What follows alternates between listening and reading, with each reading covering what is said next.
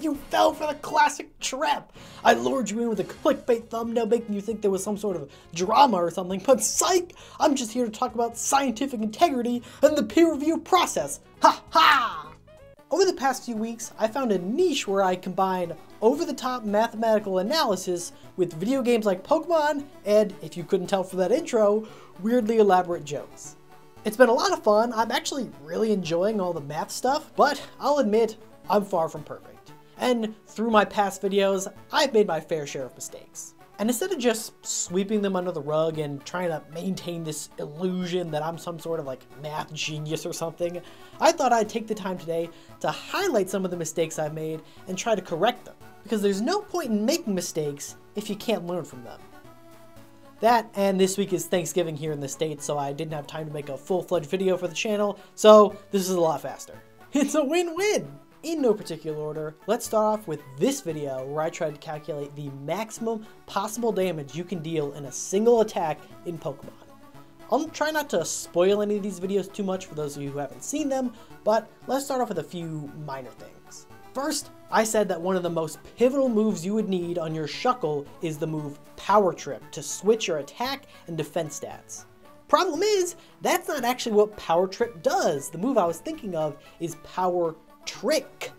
A dumb mistake, but then again, there's like 50 moves that are called power something. So, you know what, Game Freak, I think this one's on you. There was also a part in the combo where I said you needed to one-shot your own Medicham who was using Ice Ball to force it to switch out. Now, this is all well and good, except a few turns ago we had used Skill Swap to move Sturdy from Shuckle onto Medicham, meaning it can't have its HP reduced to zero from full health. A lot of you came up with some really creative solutions to get around this, like giving your Medicham a flame orb to burn it or something. Or, you know, you could just have your Shuckle have the ability Gluttony instead. Except none of that really matters actually, because you don't even need to have a Medicham on your combo to begin with. Well, not for this part anyway. You see, when building this combo, I ran into an issue where I needed a Pokemon with both the ability Pure Power and the move Ice Ball and the only way to achieve that was via the move Metronome. While this is technically true, a lot of you correctly pointed out that there is a pretty simple way to get around using Metronome by not having Medicham be the one to use Ice Ball. Instead, you can replace the Trevenant that I was using at the beginning of the combo to use Forest Curse on Noibat with a Smeargle. Smeargle's Sketch move lets it learn any attack in the game with the proper preparation. So if you get yourself a Smeargle with Forest Curse and Ice Ball, then you can kiss that Metronome goodbye. Heck, you can even put Transform on here to replace one of the Cherrims and pull off this combo with only a team of 5 Pokemon. Using a Smeargle requires you to reorder everything a bit, but it makes the odds of success a lot better. How much better? Well, I actually have no idea. I didn't redo the math for this, but if I had to guess, probably still isn't great. Some other quick things from this video, there's some conflicting information on how the metronome item interacts with moves like Ice Ball. The metronome item increases the damage of a move every time you use it consecutively, but with moves like Ice Ball, where the Pokemon automatically uses it again and again for multiple turns, does the buff get applied every time the Pokemon uses the move, or every time that you select the move? It's Unclear, I found a bunch of sources claiming both sides, so I'd have to do some experience myself to figure out for sure. But, again, it doesn't matter much anyway, because another part of the combo requires you to use Defense Curl to boost Ice Ball, and then use Ice Ball 15 turns in a row to build up your Metronome. But the Defense Curl boost only lasts for 5 turns of Ice Ball. So in order to get the Defense Curl boost for your final hit, you'd have to break your Metronome chain anyway. A better bet would be to somehow move a Choice Band onto Shuckle while it's using Ice Ball to give it a comparable attack boost. Moving on to my most recent video, where I tried to predict which starter Pokemon from Pokemon Scarlet and Violet would be the strongest. First of all, I made a couple of predictions in this video that didn't end up being correct. This in and itself isn't a mistake. I made those guesses mostly just to suit the narrative of the video, and I think pretty much everyone understood that. No, the mistake here was that I released the video a day before the games came out in the US, and all the people who got the game early or looked up leaks posted a whole bunch of spoilers for the starter's final types in the comments.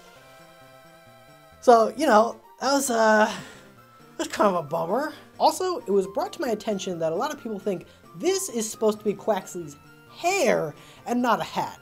And look, I get it. He certainly flips it around and styles it like hair in his animations. I can see the reality that you're all living in, but I'm simply choosing to ignore it. It will always and forever be a hat to me. Hashtag Hatsley forever. Hat, hat, Hatsley. Quack, Quaxly. Quack, we'll workshop it.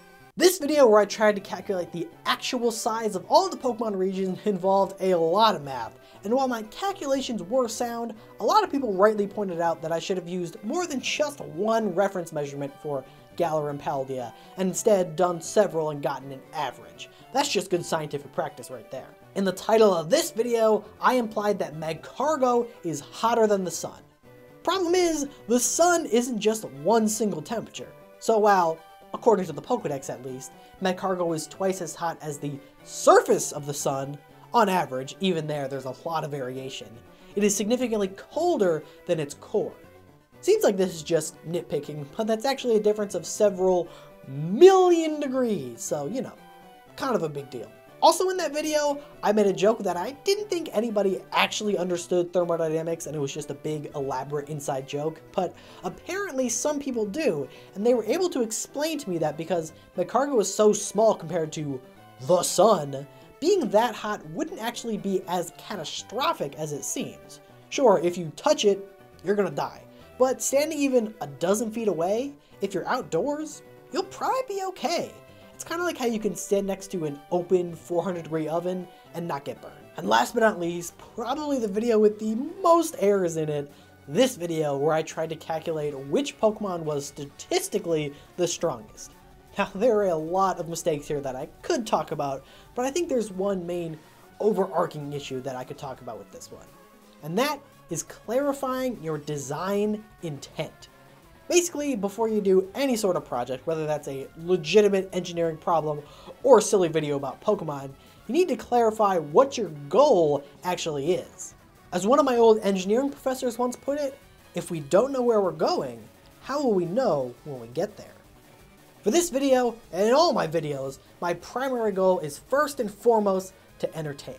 So the whole concept of finding the strongest Pokemon was really just a vehicle for whatever dumb jokes I came up with.